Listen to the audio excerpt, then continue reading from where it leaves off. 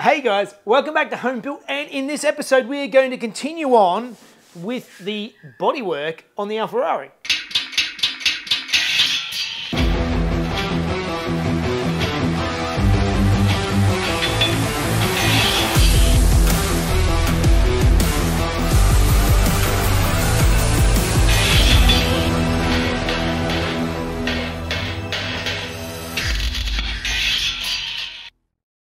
All right, guys, welcome back. And those of you watching previously will have seen that uh, last week I started smoothing in the bumper mounts on the front of the Romeo.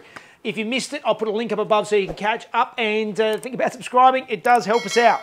So, um, yes, there were some people who said that they uh, much prefer these things with bumpers. I personally don't. I don't I like the look of it without the bumper. Um, as I said, I looked at a bunch of different options, and uh, I like the rectangular the uh, indicators better than some of the other alternatives that I've seen. So uh, I'm happy to keep that the way it is.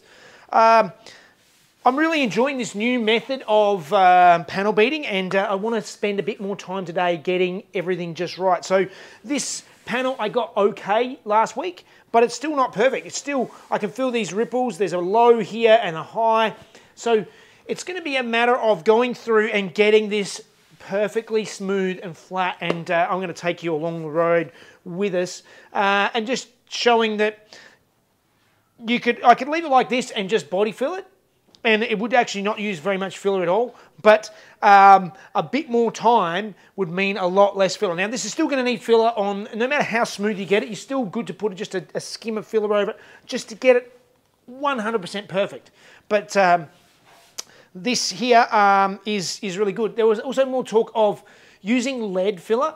Now, I might actually use lead on a couple of the seams on this car a bit later, but uh, generally lead filler, they stopped using it because it's an inferior product. It's heavy, it's hard to work, and it's uh, it's just it's not very good. I know a lot of people like using it because it's the old school thing and stuff like that. It's actually worse. There's a reason why they moved to lightweight body filler because it's lighter, easier to work, and better than what the lead filler is. So um, yeah, it, there's there's no huge benefit of using lead, um, or actually in the current form, it's not even lead. It's some sort of soft metal, but I'm not sure exactly what it is.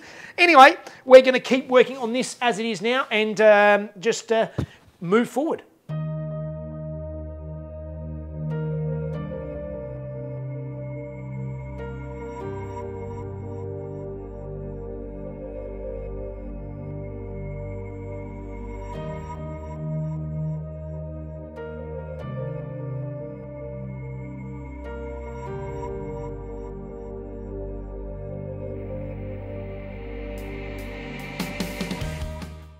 All right, that is pretty good now. I'm quite happy with that. Um, look, you could keep going and going and get rid of every tiny little bit, keep uh, grinding it back and getting, having to work on both sides because obviously um, any lump on the back side when you're trying to hit it out is also going to create lumps on the front side. So it's, it's, I am quite happy with that. That's going to take a tiny little skim to uh, finish it up.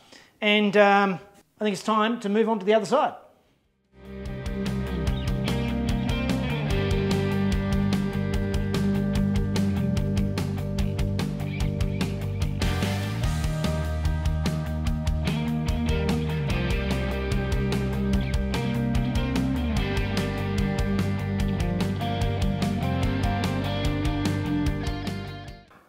So we have uh, one side done. Time to do the same thing again on the other side. So let's cut it out and uh, then we need to start making our patch panel.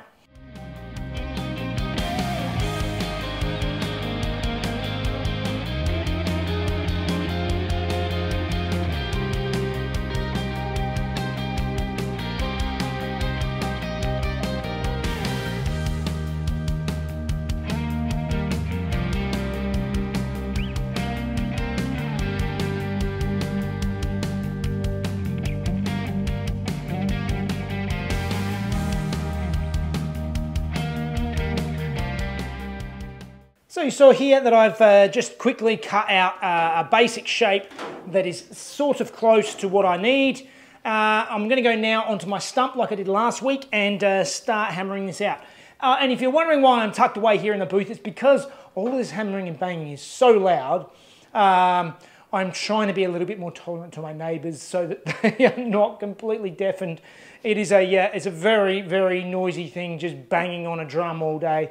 So uh, hopefully um, I won't annoy them too much. Uh, and uh, yeah, we've got to, to start hammering this out now and uh, trying to get it uh, a little bit of a crown on it so that we can start filling in our patch and weld it in.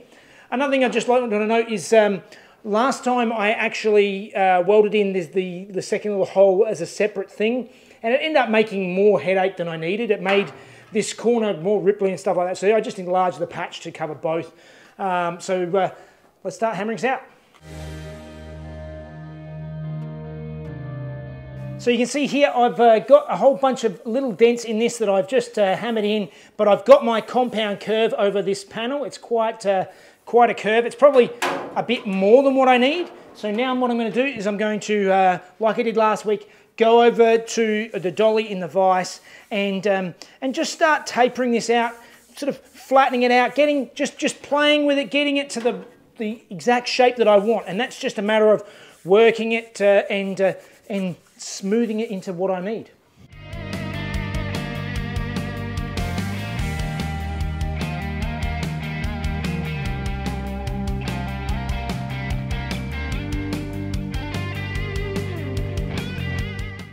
So again, as I showed you last week, uh, using the air, air chisel with a, uh, with a hammer bit in the end of it, this really makes a, a big difference to being able to smooth out this panel. And you can see it's still got a little bit of ripples in it, but um, it's a lot smoother than it was. So you've got this nice little curve, which is gonna be just what I need to sort of tweak. And uh, now we're gonna go over to the car, mark it out, uh, through the hole from behind with a, uh, with a texter and then cut it out with the, uh, with the snips until I get it night, get it reasonably close. Then we'll do the, uh, the same thing as we did last week of tack trim, tack trim all the way around to get a nice, smooth, flat finish.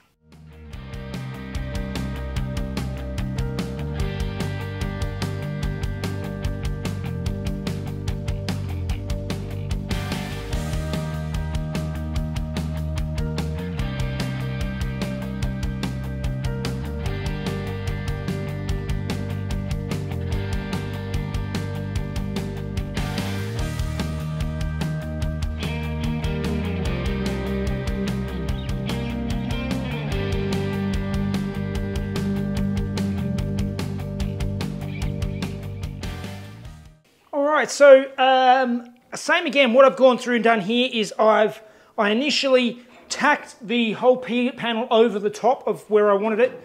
Uh, then I've gone through and trimmed through each tack and cut this um, panel on a 45 degrees uh, angle as I went round and that way and then tacked again so that I've got this a nice flush finish. Now I'm going to go over it with the grinder now, knock the tops off all these welds and then I'm going to TIG the whole thing up uh, to get a nice even uh, join all the way around. So you can see here that uh, I have a reasonably uh, flat weld. Uh, some bits it got quite thin and I blew holes and I had to fill them up so that's uh, made it a little bit uglier. It's a little bit warped but uh, basically as you saw all I did was I went, uh, I welded an inch and then I got the dolly behind the hammer and tapped it out and then an inch and, and, it, and it's really hasn't warped very much at all. It's quite good. So now I'm going to go through, I'm going to uh, grind back the top of all these welds and then uh, we'll get out with the uh, slapper file and the hammer and dolly and we'll just make it all nice and flat and smooth.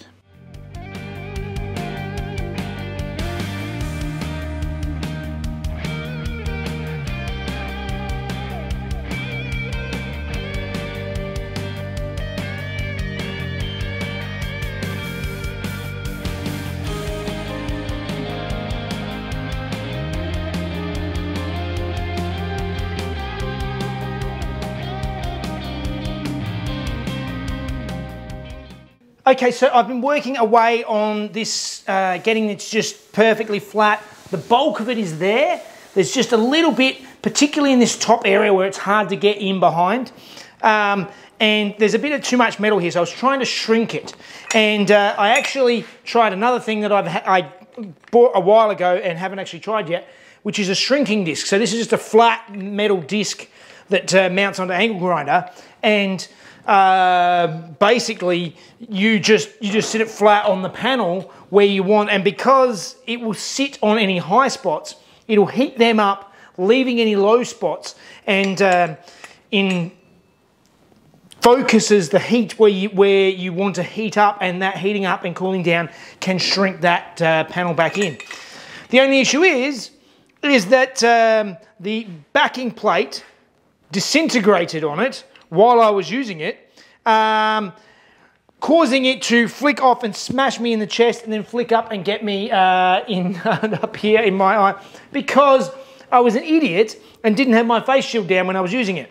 So um, always use your protective gear. Don't be a moron like me.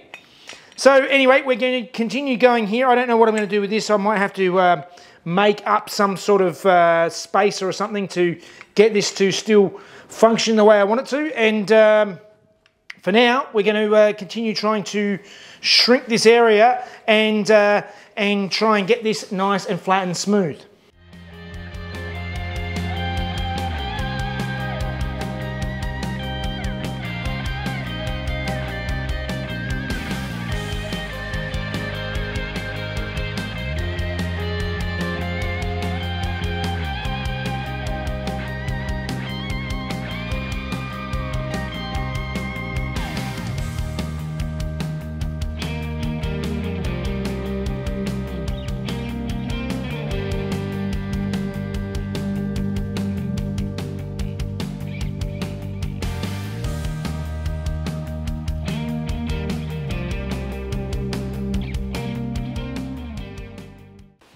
Okay, so now that is a nice smooth patch. I'm quite happy with that. Took a little bit of uh, shrinking and stuff up in this corner here. I had a little bit of oil canning, um, which I no longer have.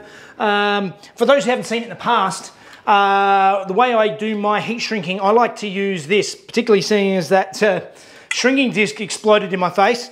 Bit of MAPP gas, just heat an area and you can actually physically watch it bubble up like an egg. And then um, I then like to use uh, my file, my bumping file. This is just an old file that I bent. And uh, basically what this does is I try and sort of drag the metal into the center of the hill and sort of knock that hill down by dragging the metal into the center. And it sort of, it, it literally grabs the metal and pushes it together so that it actually um, compresses and then when it dries out it pulls and it, and it cools and it pulls and, it, and that actually shrinks the metal. So um, that worked quite well and this is really nice and smooth now. Like there's tiny little divots in in you can see sort of around some of the welds and I could keep going for another few hours and get rid of that completely but uh, that is more than good enough. This is going to take the tiniest skim of filler over it just to get rid of those tiny little lows quite happy with that so uh, the next thing I need to tackle is uh, how am I going to remount the bumpers if I am going to do that? So last week, many of you said it's going to be very difficult to mount bumpers when I've covered up those spots. And I wanted to get rid of those, uh, the, the indentations, but I still am going to reinstall my bumper mount. So these are the bits that I cut off the end of this bracket here. You can just see where it was. I'm going to weld on the end again and leave the hole in it and I'm going to drill a hole through the front but just a small hole at the front so that I've got access to the uh, the bumper mount still and I can put a little standoff through there or something like that to uh, actually hold it if I do choose to mount the bumpers or if I'm forced to mount the bumpers for some reason um, I will have that option so that's what I'm going to do for the time being. I've actually decided that um, if it comes to it and I need to, I might actually drill the holes through um, if I need to fit the bumpers and I'll make up the standoffs and stuff then.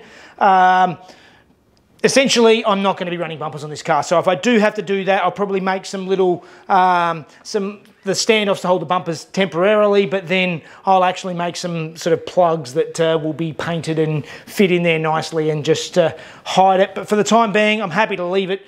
I'm probably not going to have to bother about it, so uh, I'll leave them off. So uh, that is the front end looking good. All right, so we've finished up with the front, so it's now time to just work around and finish off the last little bits of rust. And as you can see here, this is uh, just in front of the front door. Uh, there's a uh, there's a bit of a rust hole sort of patch right here and some uh, and another spot of rust holes there. This I'm just going to fill with the MIG. I'm not going to cut it out and make a, uh, uh, a mountain out of a molehill. I'm just going to get my uh, brass rod. I'm going to stick it in behind and then give it something to back against and then just zip it up with the MIG, grind it flat. Should be nice and quick and easy.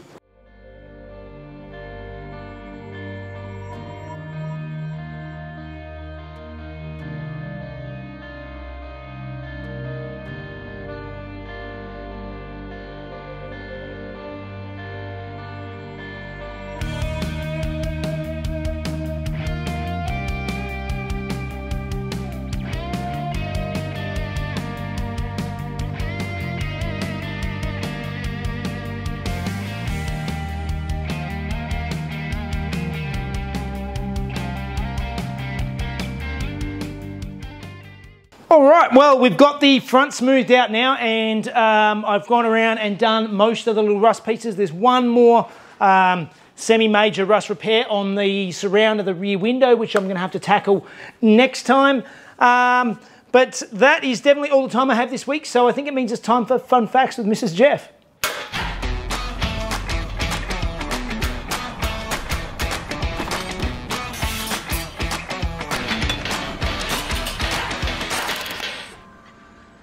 Hey guys, so we're continuing on from the Dino 206S that we talked about last week. And this car spawned some interesting prototypes. The first of which came in 1965 with the first Dino badged concept car for the Dino Berlinetta Speciale. The car was built on a competition tubular chassis with a longitudinally mid-mounted V6. The design consisted of a very streamlined body with prominent wheel arches and low-mounted headlights which were covered in plexiglass. The elongated side air intakes ducted air to the rear brakes, kind of like gills. But my favourite part is that the seats were fixed with a pedal box that could be moved to suit the driver. The other interesting concept came in 1967 with the Dino Berlinetta Competizione, which was designed at Pininfarina and brought interesting race concepts such as rear and front wings. The design also concentrated on weight saving, and when it was presented at the Frankfurt Motor Show, it received a lot of interest and a lot of requests. It was not put into production though, as at the time it would surely have been a threat to the entire commercial strategy of the Dino line, being Ferrari's entry level. All right, we're getting there. I mean, a lot of this bodywork to do it well is very, very time consuming and takes a lot of time, but I'm quite happy with how smooth that came out and uh, yeah, it's uh, one of the better patches that I've done. So we're moving through. Next week, obviously, I've got to tackle the rear end and uh, I might actually finally have some mufflers. So uh, did you, did they see you get hit in the face? They did not. Right. I did mention that, uh, yes. Because he wasn't wearing safety glasses. My, my she, shield was actually on my head and up at the time. and uh, I, uh, yeah. So just, I just stupid again. So, yeah you know, like I know a lot of viewers write in and say, Jeff, you should be wearing your safety glasses and all that. And, like, and usually I'm really good. Re- I just I don't know what I was thinking and why I didn't have my face shield down at the time. And mm. uh, do you know what it's like? I paid for it. It's like there's people who walk around with a mask on the chin. yes. it's like it's kind of there. Mm. anyway, sorry, I yes. digress. Um, like and subscribe if you haven't. If you want to see the videos a day early without ads and support Jeff on his uh, body mutilation crusade. Join Patreon. yes. Yeah. yeah. All right, guys, and uh, yeah, we'll see you on the next one. see ya. The, de- the design consisted. design with prominent wheel arches and low-mounted. Yeah, what are they? Headlights. That's right. The design consisted of a very streamlined body. Yeah to Ferrari's entire commercial line being the Dino entry level? No. No, that doesn't make any sense. No, it does not. So, Snailed it. you snailed it. Can't believe I laugh at that.